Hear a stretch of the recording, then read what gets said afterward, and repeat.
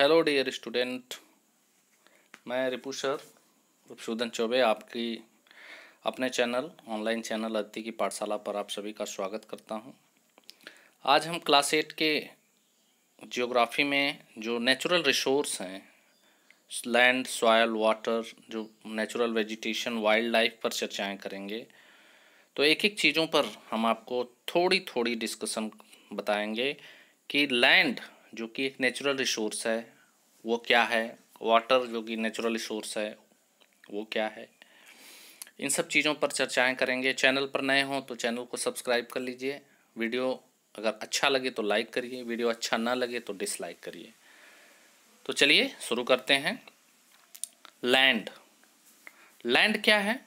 Lithosphere पहले समझ लेते हैं कि हम जिस भूमि पर या जहाँ रहते हैं, उसे लिथोस्पियर कहते हैं। ठीक है? और लैंड उसी लिथोस्पियर का एक भाग है। तो आप जानते हैं कि लगभग 29 परसेंट जो है, वो पृथ्वी पर ज़मीन पाई जाती है लैंड पाई जाती है और अलग अलग एरियाज़ में टोटल एरिया में अलग अलग जो हिस्से हैं, उसमें कुछ पर प्लेटूज़ कुछ पर माउंटेन कुछ पर प्लेन एरिया पाया जाता है। जो पॉपुलेशन डिस्ट्रीब्यूशन है लैंड पर, वो अनइवन है मतलब जनसंख्या जो है, वह इस पृथ्वी पर असमान रूप से पाई जाती है।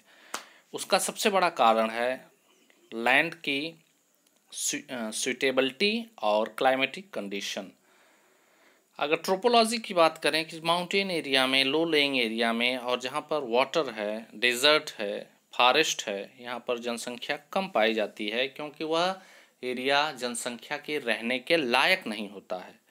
स्वीटेबल नहीं होता है, क्योंकि वहाँ एग्रीकल्चर नहीं हो सकती है। मनुष्य जो है वहाँ रह नहीं सकता। प्रॉपर वाटर की सुविधा नहीं मिलती है। तो पॉपुलेशन वहीं ज़्यादा पाई जाती है जहाँ पर लैंड समतल होती है, बराबर होती है। अब आते हैं, बात करते हैं यूजेज ऑफ़ लैंड यानी ज़मीन का उपयोग। तो ज़मीन का उपयोग आप कैसे कर सकते हैं? जो ज़मीन का उपयोग है, वो आप अलग अलग तरीक़ों से कर सकते हैं। कैसे? टू डूइंग एग्रीकल्चर खेती करके आप कर सकते हैं। फ्रेस्ट्री उस पर जंगल लगा के कर सकते हैं। माइनिंग उसकी खुदाई कर सकते हैं। बिल्डिंग बना सकते हैं, उस पर रोड बना सकते हैं। इंडस्ट्री लगा सकते हैं। यानी इस ज़मीन का उपयोग आप जैसे चाहें वैसे कर सकते हैं, वो डिपेंड करता है आपके सेंस पर। इन टर्म को हम लैंड यूज़ के नाम से जानते हैं। जिस भी तरीक़ों से आप ज़मीन का उपयोग करते हैं, उसे टर्म ऑफ़ लैंड यूज़ कहते हैं। अगर हम अलग अलग तरीक़ों की बात करें अलग अलग तरीक़ों की बात करें तो लैंड यूज़ का जो पैटर्न है, वो फ़िज़िकल फैक्चर पर निर्भर करता है। उसके भौतिक स्वरूप पर निर्भर करता है कि वहाँ पर ट्रोपोग्राफी कैसी है सॉयल कैसी है, मिट्टी कैसी है क्लाइमेट कैसी है, वहाँ पे कौन से मिनरल पाए जाते हैं, वहाँ पर वाटर अवेलेबिलिटी क्या है। इन सब, ये सब चीज़ें ज़मीन के यूज़ में बहुत ही महत्वपूर्ण होती हैं। उसके साथ साथ पॉपुलेशन भी और टेक्नोलॉजी भी लैंड यूज़ पैटर्न को प्रभावित करती है।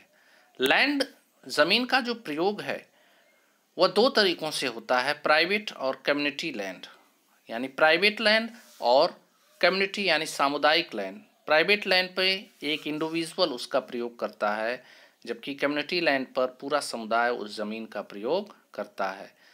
प्राइवेट लैंड में एग्रीकल्चरल लैंड को शामिल किया जाता है, जबकि कम्युनिटी लैंड में जो पास्चर हैं, जो फॉरेस्ट हैं, जो नट्स हैं, जो मेडिकल हर्ब्स हैं, इसे हम कम्युनिटी लैंड या कॉमन प्रॉपर्टी रिसोर्स के नाम से भी जानते हैं। यह सभी के लिए होता है। जैसे जंगल है, किसी एरिया में जंगल है तो उस पर किसी एक का अधिकार नहीं होता।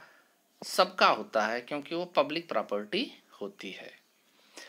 हर व्यक्ति लैंड की क्वालिटी के आधार पर अलग अलग तरीक़ों से उसकी उसका प्रयोग करता है। कहीं ज़मीन बहुत ही फर्टाइल है, कहीं ज़मीन बैरन है पंजर है तो उसकी क्वालिटी के आधार पर भी जो यूज़ है उसका वो प्रभावित होता है। जैसे रूरल एरिया में एग्रीकल्चर जहाँ होती है, वो ज़मीन बहुत ही अच्छी होती है।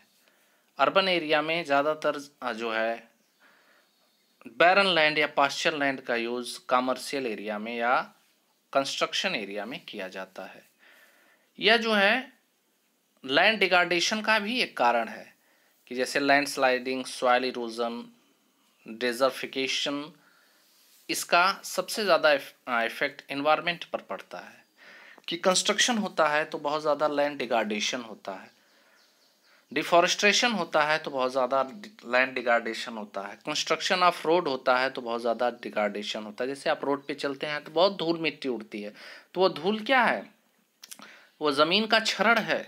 बारिश होती है तो मिट्टी बह, एक स्थान से दूसरे स्थान पर चली जाती है। वो लैंड डिगार्डेशन का एक कारण है। तो ये सारी चीज़ें जो है वो ज़मीन का क्षरण का एक कारण है। कंजर्वेशन ऑफ़ लैंड इसको आप ध्यान से देखिएगा। ये जो मैप्स हैं, इससे आपको समझ में आएगा कि लैंड डिगार्डेशन का क्या कारण है। इन सब चीज़ों को आप समझने का प्रयास करिएगा। नेक्स्ट वीडियो में आपको हम लैंड कंजर्वेशन के बारे में बताएँगे कि how to we conserve land. तब तक के लिए इतना ही। मिलते हैं अगले वीडियो में। ज़मीन या लैंड रिसोर्स के बारे में, यूज़ ऑफ़ लैंड के बारे में मैंने बताया कि ज़मीन क्या है, उसका किस तरीके से हम प्रयोग करते हैं, और कितने प्रकार की होती है। ओनरशिप के आधार पर ज़मीन दो प्रकार की होती है पब्लिक और प्राइवेट या कह सकते हैं इंडिविजुअल और पब्लिक प्रॉपर्टी तो आज के लिए इस वीडियो में इतना ही। मिलते हैं अगले वीडियो में। तब तक स्वस्थ रहिए, मस्त रहिए, आनंद से रहिए, पढ़िए लिखिए, अपने समय का उपयोग करिए और ज़्यादा से ज़्यादा समय अपने सार्थक प्रयोग में लगाइए, क्योंकि समय अगर आप बर्बाद करेंगे तो समय एक दिन समय आपको बर्बाद कर देगा। तो समय का प्रयोग सार्थक चीज़ों में लगाइए। अगले वीडियो में आपको हम वेदरिंग और कंजर्वेशन ऑफ़ लैंड के बारे में बताएँगे।